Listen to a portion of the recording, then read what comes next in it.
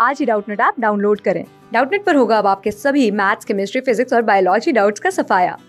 बस अपने क्वेश्चन की फ़ोटो खींचो, उसे क्रॉप करो और तुरंत वीडियो सोल्यूशन पाओ। Download now. Question is assertion कह रहे कि थ्री ब्रोमोप्रोपीन जो है, ये एग्जांपल है एल्काइल हैलाइड का राइट रीजन कह रहे हैं कि ये ऐसे कंपाउंड्स होते हैं जिसमें हेलोजन एटम जो होता है, ये आपका बॉन्डेड होता है on an sp2 hybridise carbon atom right so देखो, अगर मैं सबसे पहले बात कर दूँ थ्री ब्रोमोप्रोपीन की राइट सो ये आपके पास क्या होगा?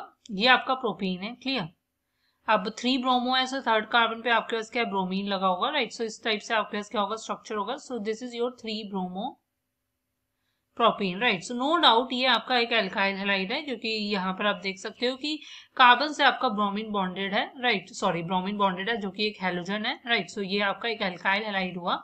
बट एल्काइल हेलाइड्स में ऐसा ज़रूरी नहीं होता कि आपका अगर हेलोजन जो है वो बॉन्डेड हो sp2 हाइब्रिडाइज कार्बन एटम से सो उन्हीं को हम एल्काइलाइट्स कहेंगे नो एल्काइलाइट्स बेसिकली वो हैं जिसमें आपके पास कार्बन से आपके पास अगर कोई हेलोजन बॉन्डेड है एक्स बेसिकली आपका ब्रोमीन हो सकता है क्लोरीन हो सकता है आयोडीन हो सकता है या फ्लोरीन होता है राइट सो उन्हें हम एल्काइलाइट्स कहते हैं राइट सो आपका कार्बन कोई भी हो सकता है sp2 भी हो सकता है sp3 भी हो सकता है, आपका एसपी भी हो सकता है फाइन बट आपका सिर्फ़ ज़रूरी नहीं है कि सिर्फ़ sp2 हो सो ये स्टेटमेंट आपकी क्या होगी? फॉल्स होगी. फ़र्स्ट स्टेटमेंट आपकी ट्रू है एंड आपका रीजन भी करेक्ट आंसर नहीं है सर्शन का सो इसलिए बोलोगे A is true but R is false option third correct होगा. Thank you class six to twelfth से लेके NEET I I T JEE mains और एडवांस के लेवल तक, दस मिलियन से ज़्यादा स्टूडेंट्स का भरोसा। आज ही डाउनलोड करें डाउट नेट आप या व्हाट्सअप कीजिए अपने डाउट्स आठ चार सौ चार सौ चार सौ पर।